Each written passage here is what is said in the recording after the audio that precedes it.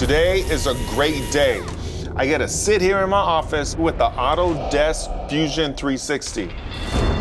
It's a cloud-based CAD-CAM software that takes simplicity to a whole new level. We're gonna build and machine this mold right here. This is a rail system. The clamp engages the material right here. Make sure it's nice and rigid, and then we're gonna cut some chips.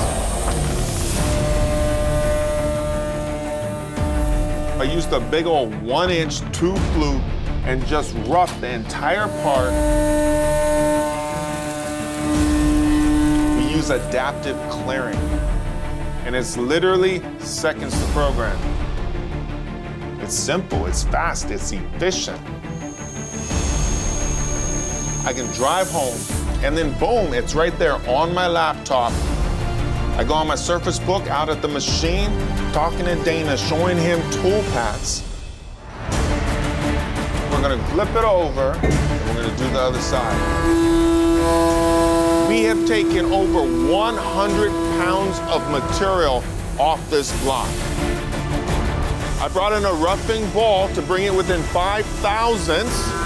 And now we're using a finished ball end mill, and it needs to be perfect.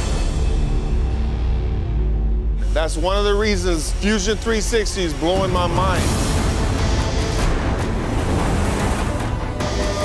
Everything in your shop is off of one software program.